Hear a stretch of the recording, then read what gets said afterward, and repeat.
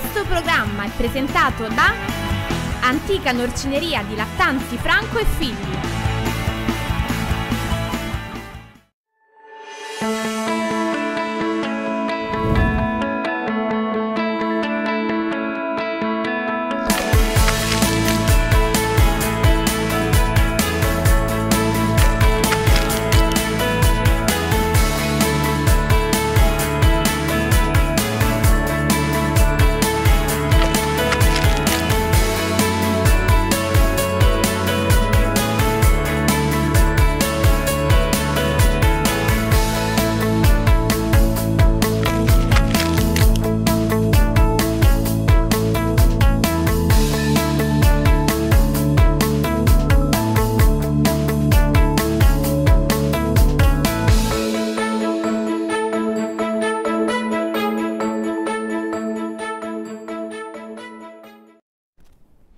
Buonasera ai nostri telespettatori, siamo qui alla puntata numero 2 del dopo Covid di Scienza e Lavoro. Come avete visto stiamo cominciando subito nel farvi sentire le voci delle persone che in realtà non sono mai state in lockdown, sono state persone che sono state impegnate perché oltre ad occuparsi di loro stessi si devono occupare e anche degli altri, di voi. In questo caso stiamo parlando degli imprenditori di tutta la città metropolitana di Roma. Abbiamo qui con noi il presidente della Confartigianato della città metropolitana di Roma, Andrea Rotondo. Andrea, buonasera. Ben trovato.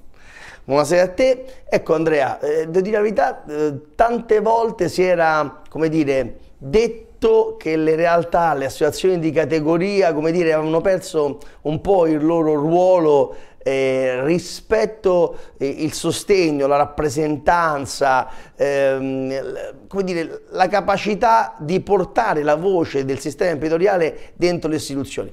Mi sembra che come dire, questo periodo abbia dimostrato un po' a tutti, eh, anche ai più scettici, che in realtà le associazioni di categoria sono vive, sono forti e servono, giusto? Verissimo, noi abbiamo lavorato per tutto il tempo, grazie al cielo stavamo all'interno dei famosi codici Ateco che in parte hanno funzionato, in parte no, e, e come hai potuto vedere abbiamo, diciamo, ci siamo impegnati su tutta una serie di tematiche che erano fondamentali in questo momento per sostenere i nostri imprenditori, i nostri associati, penso nella, nella crisi peggiore che questo Paese abbia mai incontrato fino a questo momento. Allora, eh, la Confartigianato nazionale ha avuto anch'essa un ruolo oh, per cercare di dare delle, così, dei consigli eh, al governo, ha fatto delle richieste ben specifiche, le vediamo nel servizio del telegiornale della Confartigianato nazionale e poi le commentiamo insieme a Andrea Ardondo, il presidente della Confartigianato di Roma. Vediamo il servizio. Merletti al governo. Le piccole imprese sono punto di forza per risollevare l'Italia. Da Confartigianato le istruzioni per riaprire in sicurezza. Le imprese del restauro tornano a lavorare. Dal governo risposta positiva a Confartigianato. La regione Abruzzo riapre il 18 maggio. Via al benessere e presto anche all'alimentare. La piccola impresa diffusa di territorio, che ha consentito all'Italia di rimanere il secondo maggior paese manifatturiero in Europa e leader globale nei settori made in Italy, è il punto di forza su cui fare leva per la ripresa del paese. Lo ha sottolineato il presidente di Confartigianato Giorgio Merletti, intervenuto il 6 maggio in videoconferenza all'incontro con il governo a Palazzo Chigi sulle misure del decreto maggio. Il presidente Merletti ha indicato all'esecutivo otto punti irrinunciabili per sostenere la ripresa. Riaprire le aziende garantendo la massima sicurezza per gli imprenditori e i lavoratori dipendenti. Le regole da rispettare sono spiegate in due infografiche e in una serie di mini video messi a disposizione da Confartigianato. Semplici ma esaurienti, sono strumenti indispensabili per conoscere e osservare quanto previsto dal protocollo anticontagio. Imprenditori e lavoratori dipendenti sapranno così come comportarsi in questa fase di riavvio delle attività e come operare in sicurezza secondo le norme che riguardano tutti i settori delle attività economiche. Il governo ha recepito le sollecitazioni di Confartigianato e ha dato il via libera alle imprese di restauro, ingiustamente coinvolte nella sospensione delle attività per un'errata definizione ATECO. Il governo ha confermato la denuncia della nostra categoria e ha sottolineato come tali attività non siano infatti sostanzialmente riducibili a profili ricreativi o artistici di cui al codice ATECO 90.0. Un chiarimento importante, arrivato prima con una FAC pubblicata sul sito del governo e poi con un decreto dello sviluppo economico. La Regione Abruzzo anticipa il governo e fissa la riapertura di centri estetici e parrucchieri al prossimo 18 maggio. Nostro... Ecco, la Regione Abruzzo ha dato un suo chiarimento e noi ci aspettiamo dei chiarimenti sicuramente anche dalle nostre autorità, ecco, dal Comune di Roma e dalla Regione Lazio. Che cosa c'è da dirci su questo Andrea? Allora, noi stiamo aspettando a livello regionale, parliamo di Regione Lazio, il DPCM e poi da quello arriveranno le, le varie ordinanze. La Confartigianato Nazionale, come abbiamo visto, ha dato una serie di linee guida su tutti i settori.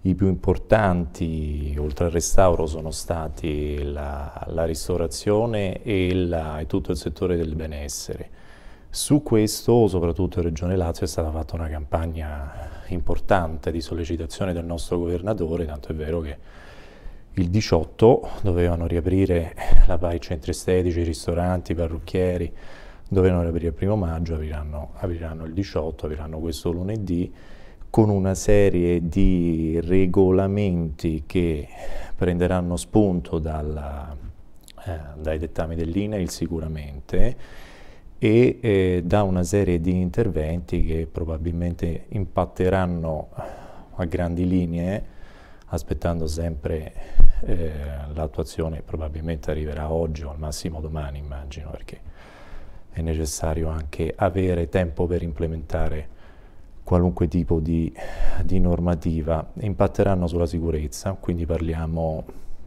brevemente di informazione, formazione, all'interno del, delle attività. L'integrazione del DVR sarà, sarà assolutamente necessaria. Un ruolo fondamentale lo sta acquistando il medico, che avrà un rapporto importante con l'RLS e l'SPP, che sono due, le due figure all'interno all delle attività che, sono, che, hanno una responsabilità eh, sia formale che sostanziale sul sistema sicurezza tutto questo insieme alla, una, a un acquisto di, di dispositivi sanitari che nostre, i nostri imprenditori hanno già fatto da tempo.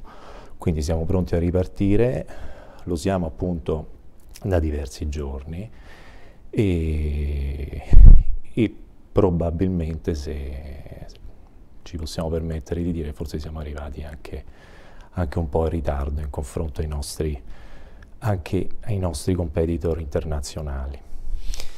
Una cosa ho notato che da una parte sia regione che comune sì. sono state un po' immobili in merito diciamo così, al loro contributo all'economia, mm. nel senso che da una parte sicuramente c'è stato, come dire, eh, una disponibilità ad ascoltare delle proposte che sono arrivate anche sì. dalla Confartigianato, come dicevamo, in merito alle riaperture, eh, in merito delle linee guida, soprattutto parliamo del settore della ristorazione, bar parliamo del settore certo. dell'acconciatura e altro. Devo dire la verità che mi sarei aspettato un piano più ampio eh, rispetto oh, a investimenti pubblici per cercare di dare anche del lavoro alle imprese, perché oggi le imprese possono anche riaprire a tutti gli effetti, no? però come dire, eh, serve un po' di domanda indotta, cioè da una parte ci sarà tutto un settore, se la paura verrà superata, dei dipendenti pubblici o dei pensionati che il loro reddito ce l'hanno garantito, certo. continueranno a consumare. Attenzione che noi abbiamo tutto un settore privato in enorme crisi, secondo me un po' di investimenti pubblici, cioè che ad esempio attivare tanti cantieri eh, stradali, tanti cantieri... Eh, nei giardini pubblici eh, o fare tutta una serie di attività potrebbe stimolare un po' il domanda. Ecco, su questo non ho visto un piano chiaro, eh, forse qualcosa andrebbe stimolata. Allora Diego, la, sono due livelli secondo me, mi ricollego anche al, al servizio che abbiamo visto prima. Mm, vediamo le proposte nazionali di Confartigianato non si sono esaurite solamente con eh, il pacchetto di regolamenti e di procedure per la riattivazione, ma mh, abbiamo parlato anche di ristoro a fondo perduto, di flessibilità sulle perdite di bilancio, abbiamo parlato di, eh, di sistemi di carry back, di split payment, eh, di compensazione diretta di debiti e crediti a livello nazionale e della sospensione dei codici di appalti. Questi sono strumenti importanti che il ristoro lo abbiamo in questo decreto, i famosi 1000 euro per, la, per le piccole imprese, vediamo poi l'attuazione, naturalmente quello sarà, farà la differenza. Eh, abbassando il livello sugli enti locali, eh, le forme di intervento eh, a livello regionale si sono legate sostanzialmente ai sistemi di fare Lazio.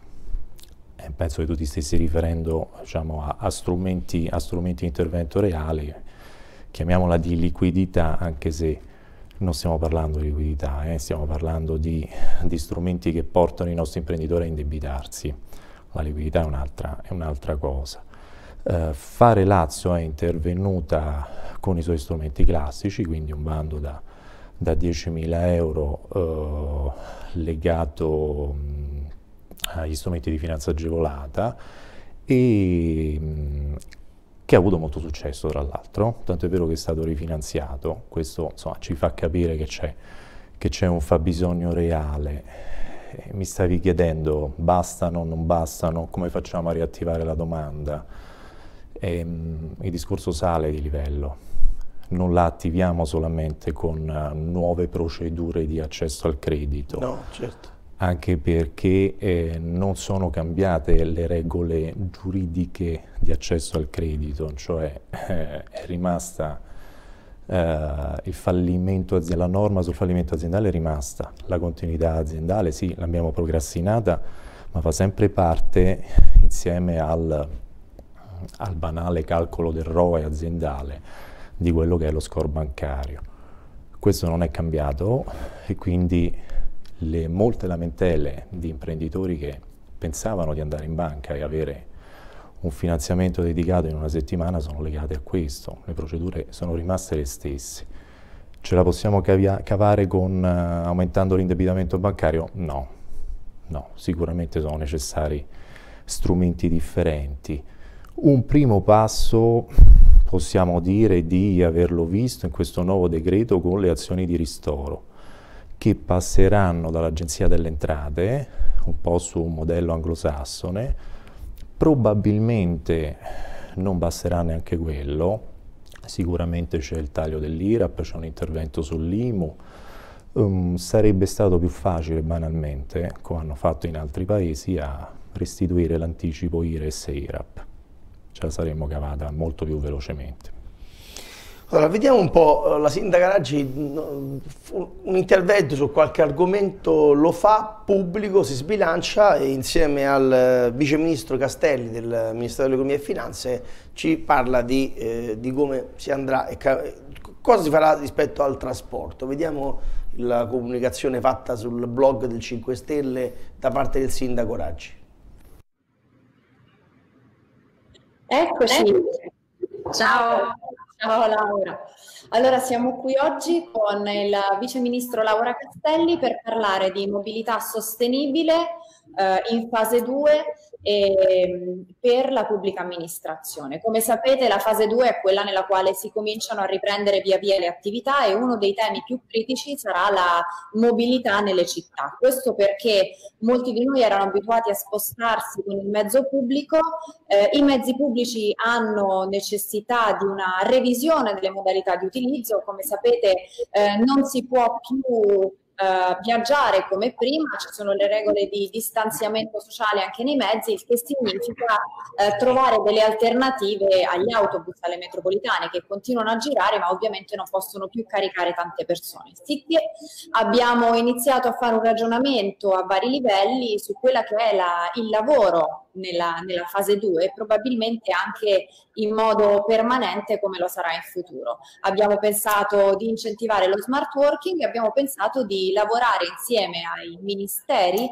per uh, incentivare un sistema di navette. Abbiamo scritto così una lettera alla, alle varie eh, pubbliche amministrazioni tra i cui ministeri e devo dire che il MEF, il Ministero dell'Economia e delle Finanze, è stato il primo a rispondere, per cui oggi il Vice Ministro ci racconta quello che stanno facendo.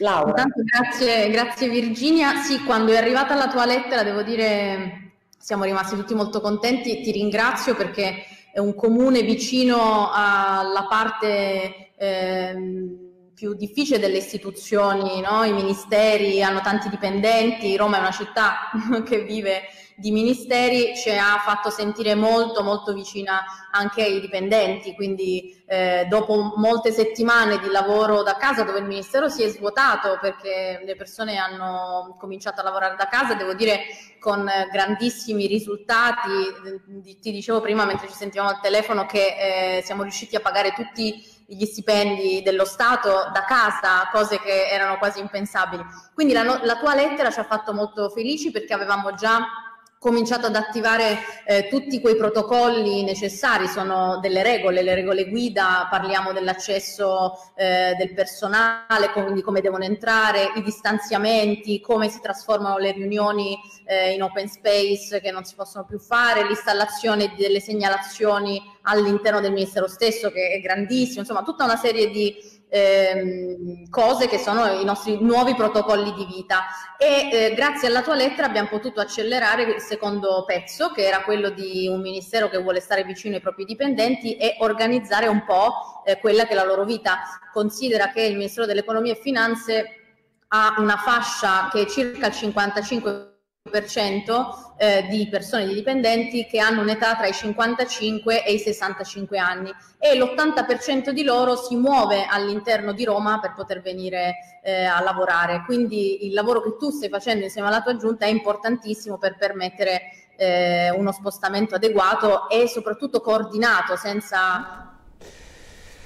Allora, eh, vedo come ho la percezione che tante volte alcuni amministratori pubblici, eh, come dire, non avendo vissuto una vita reale di, del fare, del costruire, del realizzare, tutto il resto, eh, sono, non riescono a costruirsi l'ordine delle priorità, no? Cioè, pensare che un vice, vice ministro dell'economia è un sindaco della capitale, quindi una città importante, come dire, gioiscano per un, un, argomento che in questo momento penso che sia nell'ordine di priorità eh, a quota dire, un milione, diciamo, rispetto, ce ne sono prima 999.999 come priorità rispetto a questa, un po', un po' mi stupisce. Cioè, io, come dire, come abbiamo detto, lunedì riaprono, sì. ma si può riaprire e, come dire, senza clienti, cioè io, io, riapro, ma come faccio a fare economia? Cioè come faccio a fare ricavi quando riapro?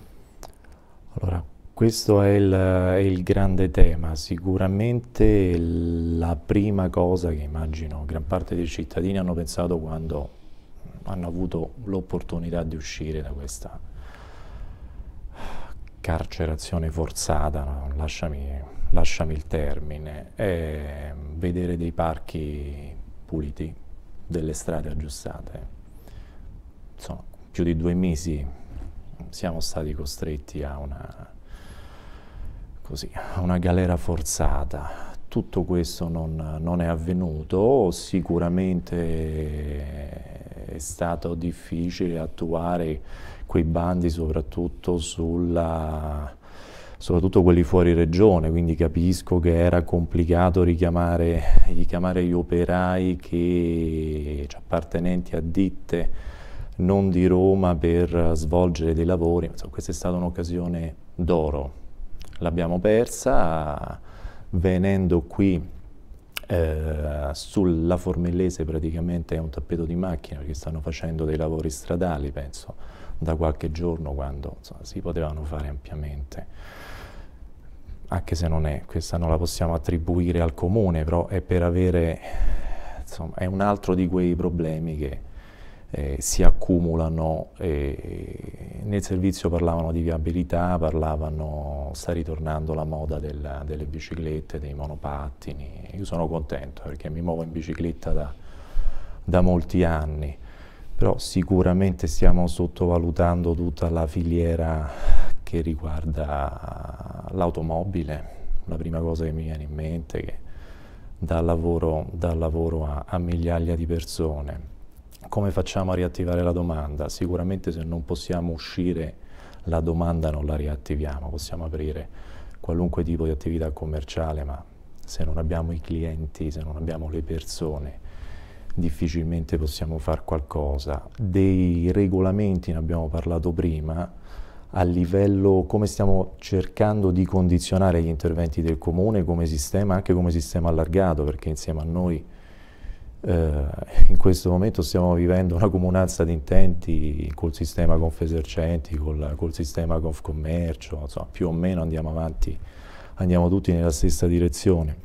Tornando alle problematiche del Comune di Roma, l'occupazione del suolo pubblico è qualcosa che ancora oggi sta sui, sui tavoli del Comune, l'aumento del 35% ci dovremmo arrivare, si sta dibattendo eh, se arrivarci con una delibera del Consiglio, ci vuole un po' di tempo, o con una semplice ordinanza, la nostra proposta banale è stata fate l'ordinanza e poi andrete in delibera in un secondo momento, insomma una proposta abbastanza banale. L'abolizione della COSAP potrebbe essere fatta domani, la cancellazione della Tari potrebbe essere fatta nell'immediato come l'apertura della ZDL e la completa liberalizzazione degli orari della domenica. Parlando con l'assessore, con Cafarotti, sembra che, che, la linea sia questa.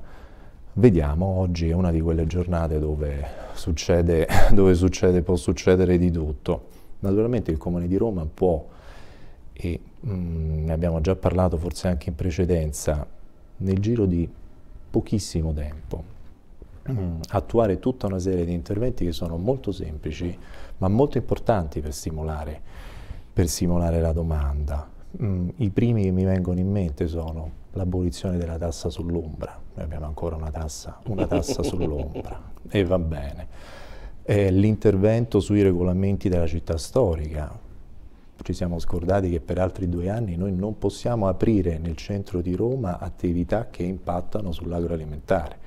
Cioè io non posso aprire domani un alimentare, a meno che non mi compro una licenza da un, da un negozietto, da un, da un bangla, come si dice a Roma, che magari ha preso la licenza eh, anni passati e a quel punto posso intervenire anche nella costruzione di una qualità differente come offerta, come pura offerta all'interno del nostro, del nostro centro storico.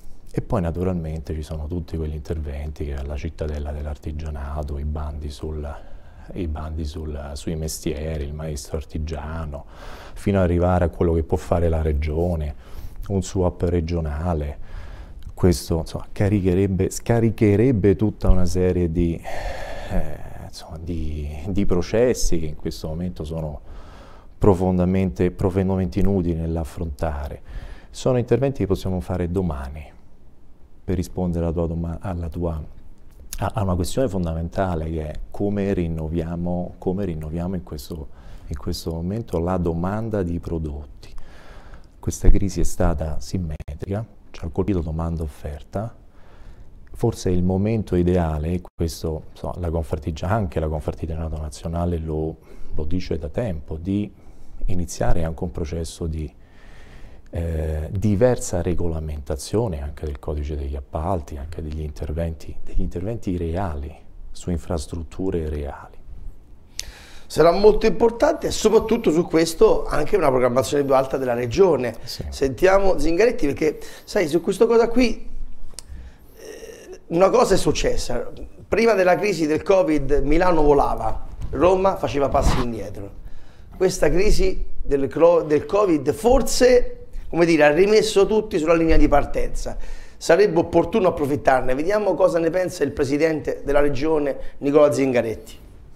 Nel corso della videoconferenza stampa sulle misure di Regione Vicina 2, il governatore del Lazio, Nicola Zingaretti, è tornato sulla questione delle voci circolanti nelle ultime ore di possibili anticipazioni di aperture per ristoranti, parrucchieri, centri estetici e stazionamento dei clienti nei bar rispetto alla data del primo giugno, confermando però che dipende tutto dalla situazione sanitaria alla vaglio giorno per giorno con raccolta dati che vengono inviati al Ministero della Salute. Le date delle riaperture saranno legate agli esiti del monitoraggio epidemiologico che con il governo è iniziato e che ogni settimana ci darà il livello eh, di pericolosità della curva epidemiologica nella nostra regione. E quindi abbiamo concluso il come aprire e valuteremo settimana eh, per settimana il dove e che cosa aprire. Io questo lo dico perché c'è stata ed è in corso in questo un dibattito, la Regione Lazio si baserà sulla valutazione scientifica del monitoraggio epidemiologico fatto di concerto con il Governo regione eh, per eh, regione. Questo è molto importante dirlo per dare sicurezza e perché, ripeto, già sono avviate la discussione e poi le procedure per fare in modo che dal bar al ristorante, allo stabilimento balneare, all'attività commerciale, eh, quando si potrà aprire, lo si faccia in piena sicurezza. Io voglio sottolineare questo aspetto, è evidente che la sicurezza degli esercizi commerciali sarà la nuova discriminante per frequentarli questi luoghi e quindi un investimento oggi su questo aspetto è molto molto importante per garantire che poi una volta aperto l'esercizio commerciale eh, possa essere percepito e lo sarà. Allora, anche diciamo così eh, rispetto all'idea della regione, mi sembra che il Presidente Zinghetti dicesse che il come lo hanno già stabilito, ma io non l'ho visto trasferire il come, cioè de dettagliatamente, perché mi sembra che il come deve, deve essere ancora deliberato a livello nazionale e applicato. Esatto, aspettiamo, lo dicevamo all'inizio, il DPCM si trasformerà in una serie di, di indicazioni, se hai letto anche la, il Vademecum dell'INAIL, inizia con appunto mh, parlando di indicazioni che saranno poi trasferite, che acquis acquisiranno in un secondo momento una, una norma di legge. E il problema qual è? Cioè, a prescindere dalle, dalle fonti del diritto. Prendiamo i ristoratori. Noi in questo momento abbiamo come metri quadri a disposizione della singola persona, se non ricordo male, sta solo 0,7 o 0,8. Con le nuove regole saranno 4 metri quadri vuol dire perdere in un colpo solo mh, mm, circa 250.000 posizioni. Se ti fai il calcolo, questo si traduce in licenziamenti. Adesso non si può fare, si farà alla fine del processo di cassa integrazione, tutto quello che vogliamo, ma saranno licenziamenti. E, e lo stesso può avvenire per le, altre, per le altre attività. Allora, qualunque regolamento va bene, qualunque procedura va bene, qualunque nuovo processo di lavoro da attivare va bene, l'importante è che sia calato sulla realtà imprenditoriale. In questo momento non è così, non è così. Aspettiamo, appunto, oggi è giornata campale, vediamo quello che, vediamo quello che succede. Nel frattempo sicuramente la Regione qui sposta un po' il livello sul, sul comparto che rappresentiamo, può attuare una serie di percorsi abbastanza semplici. Il primo che mi viene in mente è l'albo delle imprese artigiane, trasformato mm, in annotazione del registro imprese, si può fare domani, immediatamente. Il SUAP l'abbiamo già, già accennato, le botteghe scuola ce le siamo già dette, non abbiamo il testo unico del commercio, non abbiamo i regolamenti, abbiamo il testo unico, non abbiamo, non abbiamo i regolamenti abbiamo delle norme folli sul commercio in area pubblica. Mm, in uh, eh, qualunque mercato in questo momento credo che sia un unicum il sistema, il sistema italiano in questo caso, non solo regionale. Se vuoi mettere una posizione bancomat in un qualunque mercato, la cosa più semplice avvicinandoci alla qualità dei mercati spagnoli, nostri, ispiriamoci ai nostri cugini, non lo possiamo fare. Quindi c'è, mm, per ritornare a come rimpattiamo sulla domanda, rimpattiamo anche riqualificando il nostro sistema e non dobbiamo aspettare i, i finanziamenti garantiti al 100% da MCC per fare questo, lo possiamo fare domani. Sì, sicuramente questo è molto importante, dobbiamo oh, cercare di eh, pensare anche come, come generare nuova attività produttiva perché questa fase qui sicuramente, come ben dicevi tu, eh, rischierà prendiamo il caso della ristorazione, che la metà dei dipendenti della ristorazione rischieranno di essere fuori. Non possiamo pensare di caricare tutte queste persone sulla fiscalità generale.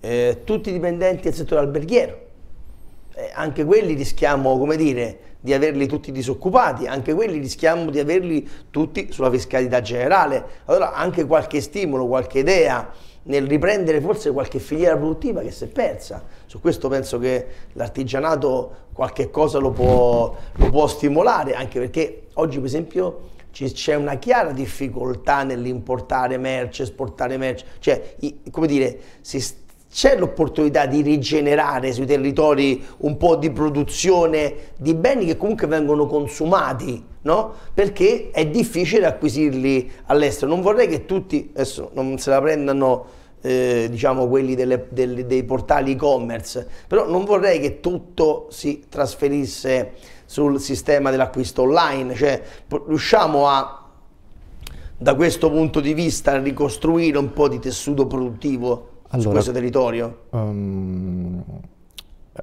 ti dico quello che, che, sta facendo Milano in questo momento, che, che, ha un assessore importante da questo punto di vista. Eh, loro stanno praticamente rifacendo i marciapiedi su questo, stanno, stanno ritrasformando proprio in linea con quello che stavi dicendo un mercato molto largo in questo momento, lo stanno riconducendo a livelli di prossimità e quindi a un mercato di vicinato. È un qualcosa che dovremmo fare anche noi, che sta nelle cose, è quasi un percorso obbligato in questo momento.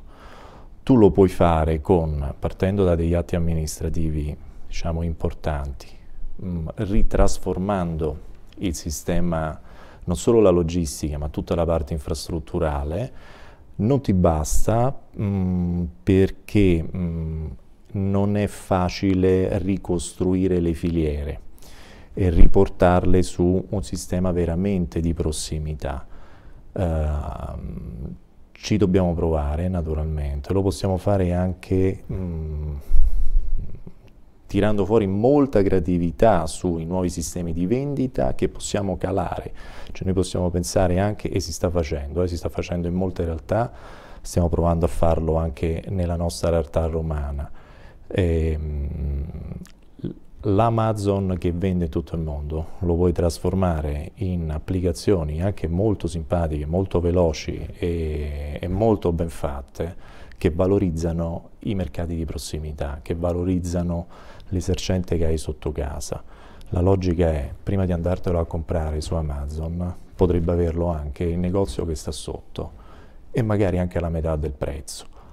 Allora, questo si sta facendo, uh, su questo probabilmente il Comune potrebbe, accelerando non solo delle procedure, ma all'innesto uh, di risorse in particolari, potrebbe assolutamente dire la sua sia il Comune che la Regione. Aspettiamo.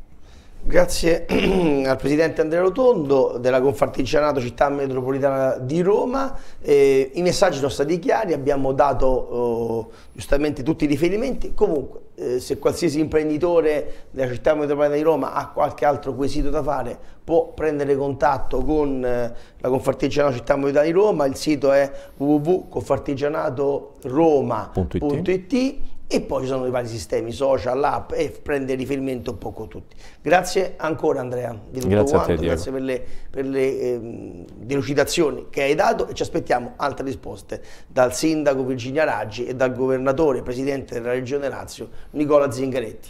Pubblicità, grazie.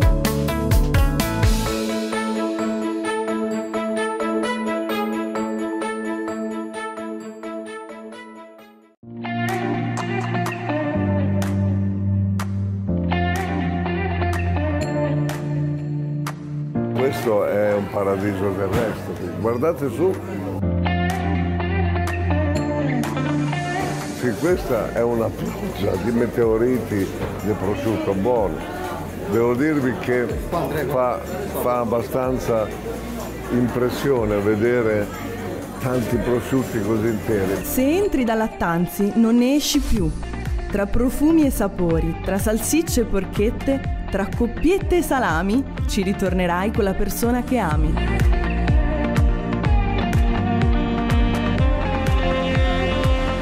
Antica norcineria di Lattanzi Franco e Figli, via Casilina, chilometro 21 e 600, laghetto di Montecompatri, telefono 06 94 76 055 www.antica-norcineria.com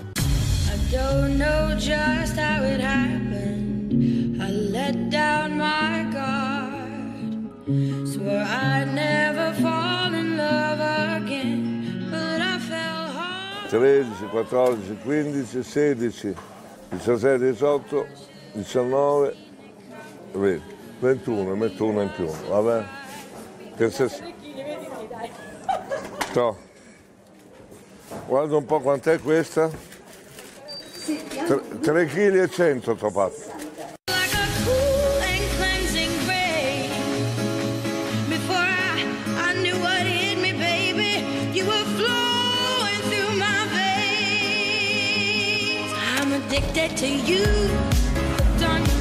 La salsiccia va come il vento, 3 kg di salsiccia, qui 3 kg hai detto?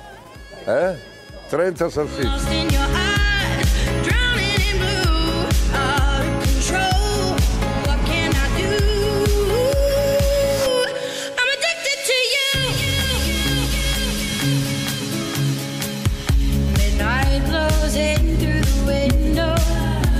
Venite con me, io prima di comprare qualcosa, il maiale soprattutto, voglio che sia italiano. Allora vengo qua all'antica norcineria Lattanzi Franco e guarda, guarda, non le comprereste tutte?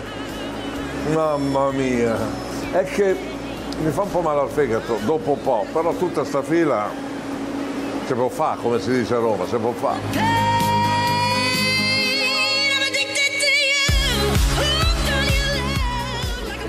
Oh, senza conservanti, senza coloranti, senza glutine, senza lattosio. Da chi? Da Lattanzi, tutta roba italiana. Tutte. Antica norcineria di Lattanzi Franco e Figli, via Casilina, chilometro 21 e 600, laghetto di Montecompatri, telefono 06 94 76 055 www.antica-norcineria.com